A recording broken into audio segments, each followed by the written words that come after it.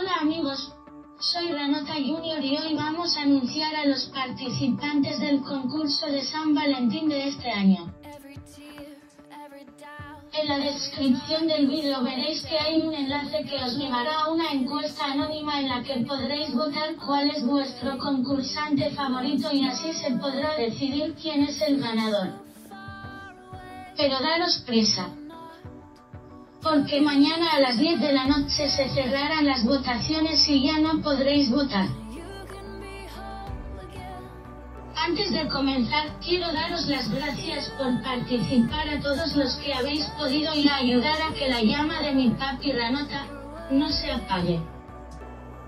Mi papi está triste porque hace unos pocos días se llevó una de las peores decepciones que ha podido llevarse y está luchando muy duro para superarlo.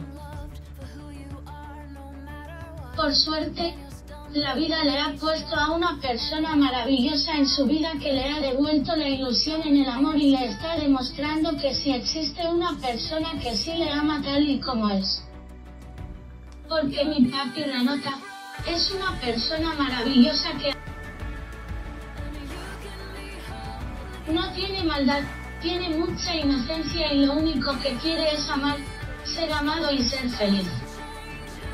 Pero a veces hay personas en la vida que se aprovechan de la bondad de las personas para manipularlas y conseguir lo que ellas quieran sin pensar en el impacto que puede llegar a tener en esa persona. Además, no hay nada más bonito en este mundo que amar a las personas por tal y como son, y no por lo que te pueden ofrecer. Ahora sí, después de esta reflexión, presentamos a los participantes y a sus preciosos dibujos y relatos.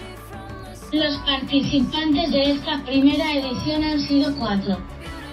Ahora mi papi Ranota os los presentará y enseñará y leerá en voz alta los textos tan bonitos que han escrito los participantes.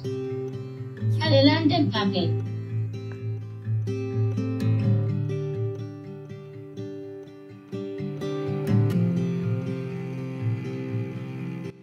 Comenzamos con este precioso dibujo que ha hecho Milloni y pues está bastante bonito la verdad. Me encantan los corazones, la parte blanca parece súper real, como si fueran corazones reflectantes de verdad. Está muy bien la verdad. Gracias Johnny. Seguimos con esta preciosa historia que ha escrito Ethan que se llama El encanto de la feria. En el bullicio colorido de la feria, Albert encontró algo más emocionante que las luces brillantes de las atracciones o las mismas atracciones, la mirada centellante de él. Cautivado por su sonrisa, cada paseo en la noria se convirtió en una dulce complicidad. Entre algodones de azúcar y risas contagiosas, Albert y él escribieron un cuento de amor que resonaría en la melodía alegre de la feria, donde cada encuentro era una nueva vuelta en la montaña rusa de sus corazones. Muy bonito, Ethan. Me ha encantado. Me ha encantado. A continuación, esta preciosa historia que ha escrito el Héctor, que dice así. Érase una vez una pareja que vivía en una humilde casa con su hija de 5 años. Entonces de repente se avecinó una enorme borrasca de viento. La casa se fue abajo. Entonces el esposo dijo, no se preocupen, iré a buscar una casa a una ciudad muy bonita. Entonces se casaron y tuvieron otro hijo. Muchas gracias, Héctor. Y para terminar esta preciosa historia que ha escrito Javid desde Rumanía, que dice así, en mi colegio de Rumanía tengo dos amigos, uno que se llama Robert y una niña que se llama Mijaela. Ellos se gustan, pero ni él ni ella saben que se quieren uno al otro. Un viernes de escuela entraron en clase los dos, Después de terminar matemáticas, en el recreo, Robert salió a jugar fútbol con más amigos suyos. Mijaela fue a verlo cómo jugaba y solo lo miraba a él. Después de sonar la campana, Mijaela lo cogió de la mano a Robert y le dijo que le gusta. Robert le dijo lo mismo. Se dieron un beso y entraron en clases. ¡Feliz San Valentín!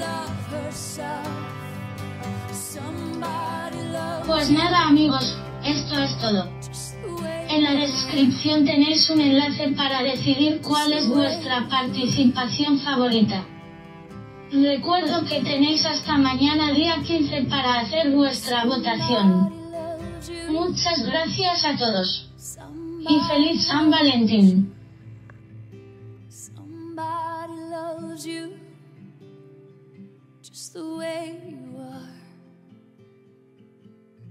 just the way